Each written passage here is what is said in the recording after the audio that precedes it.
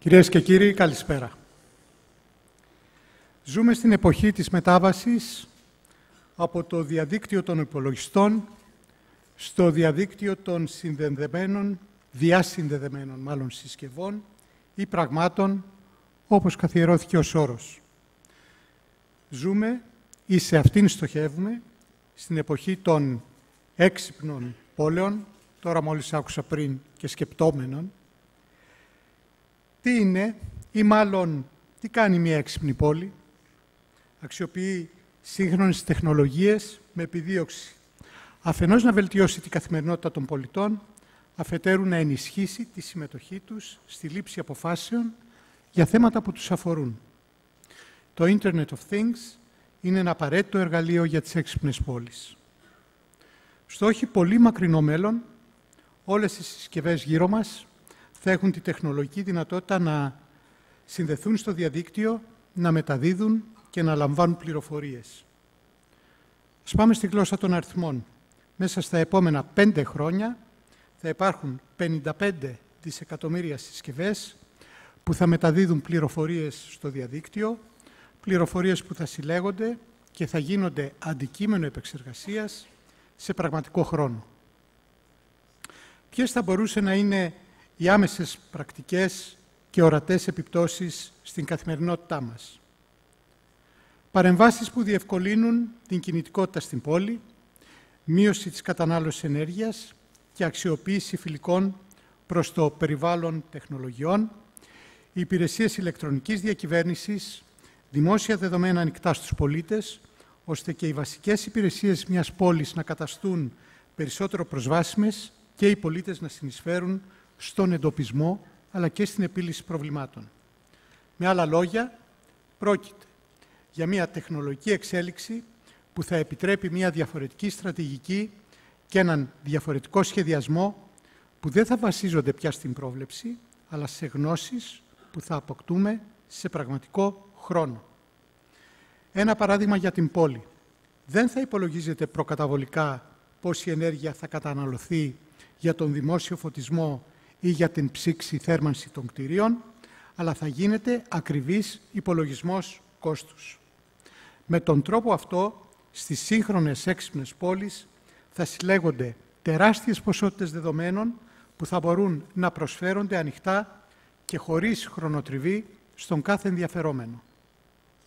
Επιπλέον, τα δεδομένα αυτά μπορεί να γίνουν ένας τεράστιος πόλος έλξης για νεοφυείς και καινοτόμες επιχειρήσεις, οι οποίες θα συμβάλλουν στην ανάπτυξη και παραγωγή πλούτου και πάνω απ' όλα στη δημιουργία νέων θέσεων εργασίας.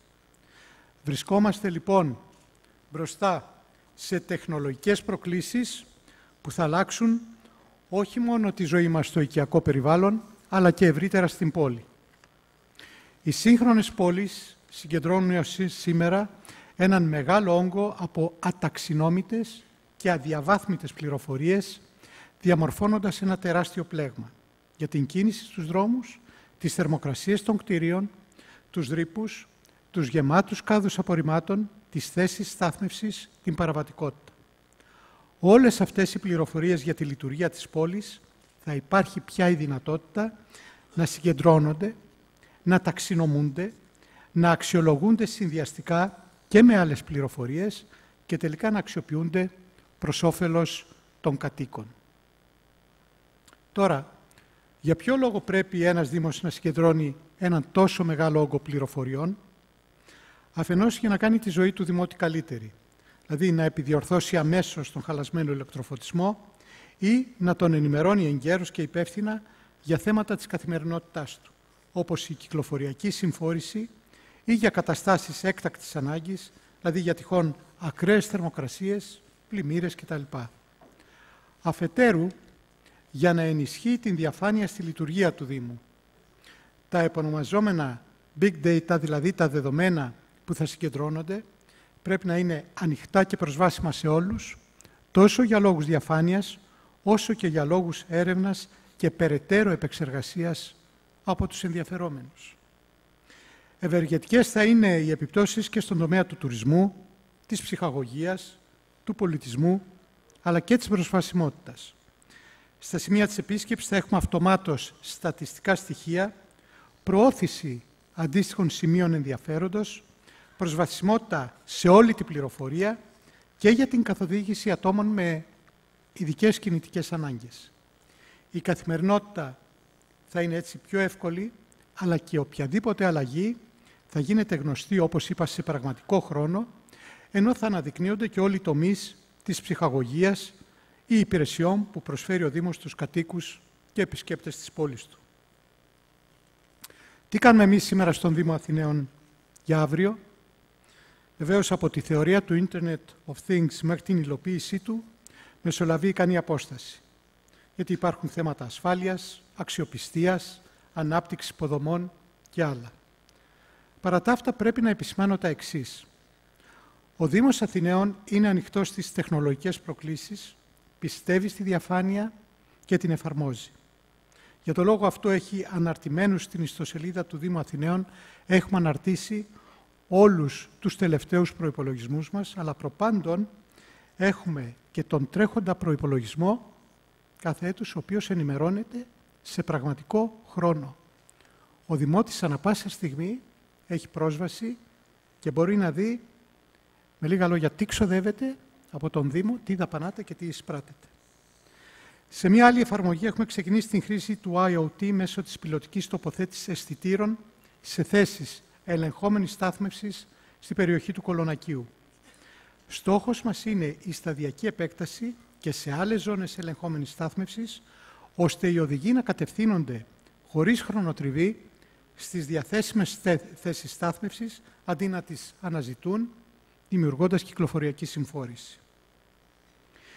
Η πόλη της Αθήνας επιλέχθηκε από την εταιρεία IBM ως μία από τις 16 πόλεις σε όλο τον κόσμο και μία από τις δύο ευρωπαϊκές πόλεις, προκειμένου να υποστηριχθεί σε θέματα από την εταιρεία που σχετίζονται με την ανάπτυξη και αποτελεσματική διαχείριση των εφιών συστημάτων μεταφορών. Επίσης, ο Δήμος μας έχει καταθέσει πρόταση η οποία έχει ενταχθεί στο ΕΣΠΑ του 2016-2020 για τη δημιουργία έξυπνου κέντρου επιχειρήσεων, στόχος του οποίου είναι η τοποθέτηση συστημάτων παρακολούθησης σε κοινόχρηστους δημόσιους χώρους, όπως παιδικές χαρές και προάβλια σχολείων και η κεντρική τους εποπτεία έτσι ώστε να προλαμβάνεται η παραβατικότητα και άρα να ισχύεται και το αίσθημα ασφάλειας των πολιτών. Συμμετέχουμε επίσης σε ευρωπαϊκά προγράμματα και σε πρωτοβουλίες Smart Cities στον τομέα της εξοικονόμησης ενέργειας, ανοιχτά δεδομένα, στην έξυπνη και βιώσιμη κινητικότητα, στοχεύοντας στο να αντλήσουμε επιπλέον πόρους στην προώθηση νέων καινοτόμων πολιτικών, αλλά και στην υιοθέτηση καλών πρακτικών από το εξωτερικό.